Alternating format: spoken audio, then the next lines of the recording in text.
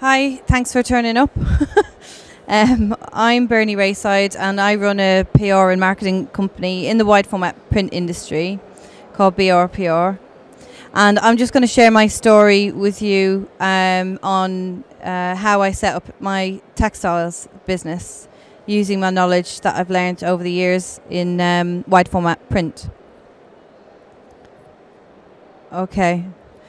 So, if you're running a sign business or a display graphics business, you have a lot of skills um, and knowledge already um, that you can transfer to textiles very, very easily. Um, I say here you can't put an old head on young shoulders, but you can, can, can combine them to create new ideas. So with your own existing products and looking at some new products, um, new printers, etc., new technologies, you can combine these to um, create new ideas. So I'll give you a bit of background of how I um, started this. So I, I've worked for many years with uh, manufacturers, resellers of print equipment like Mutoh, HP, Summa, people like that, helping them market their products. So I understand a lot about what your printers and cutters already do, um, and I have a lot of background doing that. Um, I now, as I say, run BRPR, which is an agency specialising in.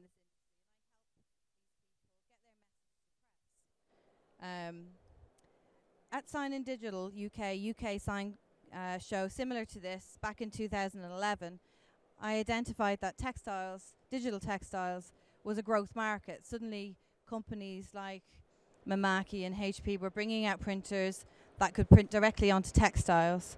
That was really interesting um, nothing like that had really happened since the late 90s when HP decided to put some inkjet cartridges into a cutting plotter and the DesignJet was born.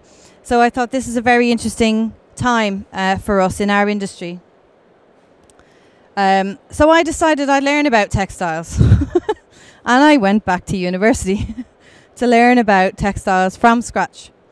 Um, so and I got one of these, which is a student card. If you remember all back way, it was just great. Get free travel and everything. So, anyway, so as a mature student, I went to learn about textiles um, for two reasons.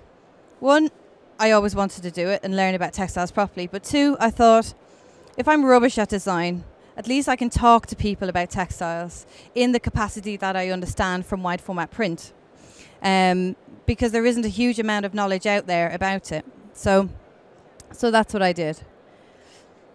I then went to um, FESPA Barcelona in 2012 and um, met some very interesting people. A company called Pod Iberia had just launched their direct to textile printer with inbuilt fixation. Um, and I found that extremely interesting that I wasn't on my own in terms of understanding that there was going to be a lot happening in digital textiles. The following year at FESPA London, Pod, or MTEX as you probably know them now, had launched quite a few products, including um, printers using uh, reactive dyes, acid dyes, um, which makes it extremely interesting for the textile industry, not just for uh, signage and display graphics. At the same show, HP launched their latex HP 3000 for the interiors and wallpaper market. Um, later that year, I was asked to organise in my PR capacity a conference on interiors, uh, wall coverings for a company in London. Um, and so I decided to bring my designs with me and got the guy to print them out while I was in the back of the conference. Saw the stuff being printed out and I thought, oh, okay, maybe I'm not too bad at this design lark. I can probably give this a go. So, so that's what I did. So, what was the outcome of of that three years of knowledge and experience? Is that I came up with something totally new. I actually learned to knit again at, at, university, which is really weird for an Irish person to have forgotten how to do that. But anyway, I learned how to knit, and I wanted to incorporate knit into my digital print. Um, so that's what I did. I created a whole range of wallpaper designs based on my knitwear, um, which I have on authority from two of the oldest wallpaper manufacturing companies in the UK, hadn't really been done successfully before. Um, turned them into repeat pattern, and of course, once you have a repeat pattern, you can then print onto just about anything you could possibly want. The idea behind this was I wanted to create uh, designs and patterns for wallpapers and fabrics that you physically couldn't do any other way but through digital print. And that was really important to me to show the benefits and beauty, really, of digital printing, um, but onto textiles. So the, I'll just go back. These are printed on the HP latex, and these are printed on the MTEX. They're color matched, and they match the wallpapers. So for me, that was it. Was it was uh, it's it's this is the way the industry is going.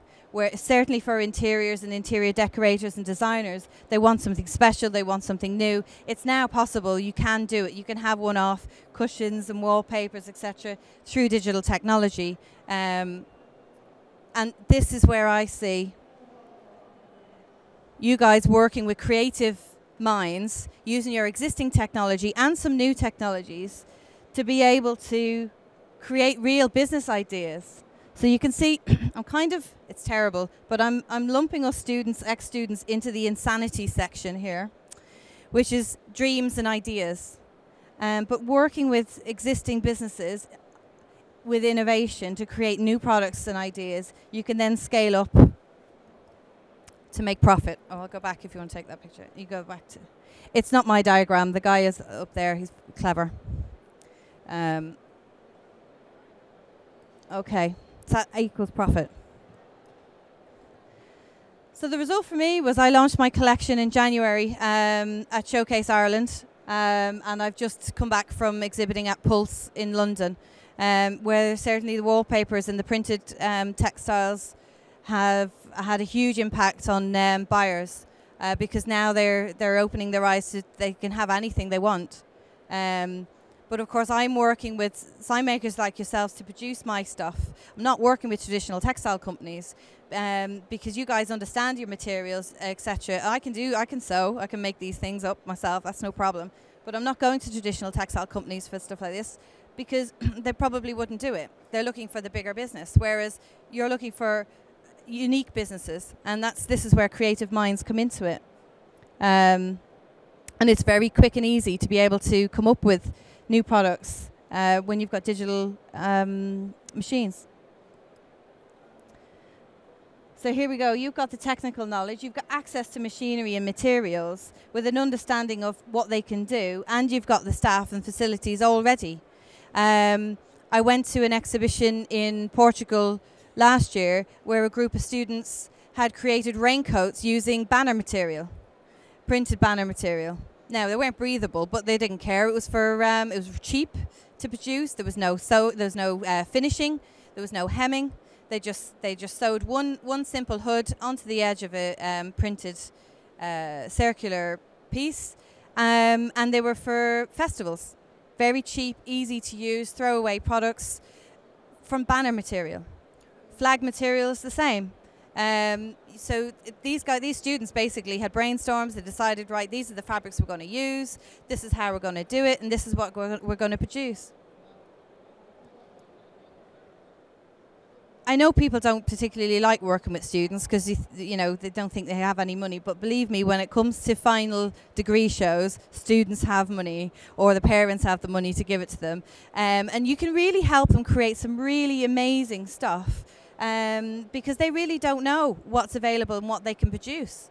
Um, they've got loads of enthusiasm and determination to make things work.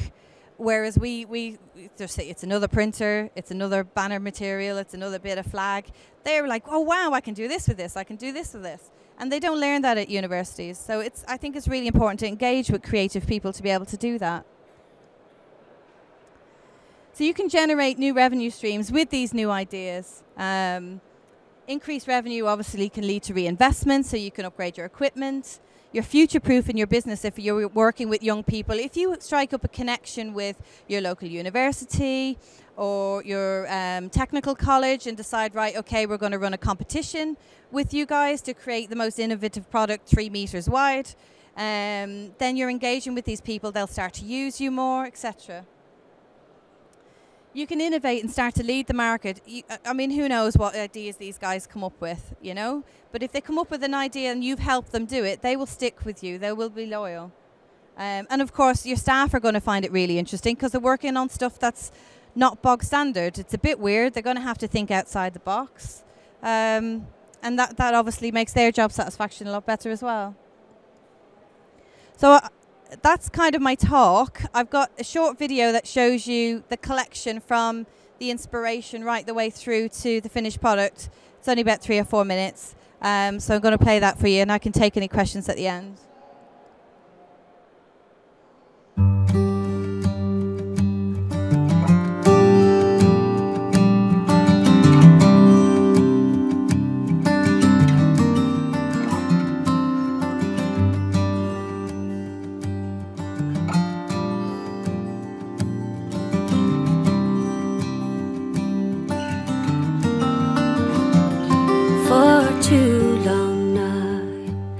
Been a stranger here to the hills above Glenshane and your rocks and your rain where the silent souls on the prairie was in the wind they sing come away come away. To the murmuring stream with the time be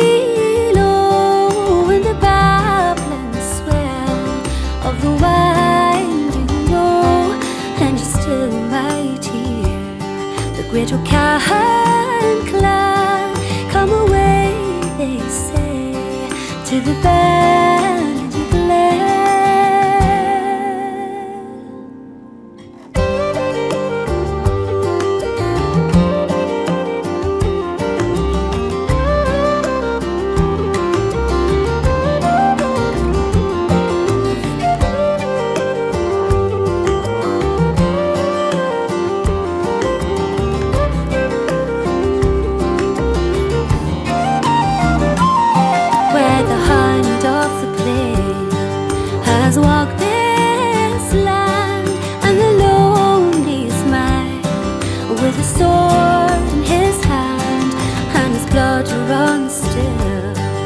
heavy dreamer.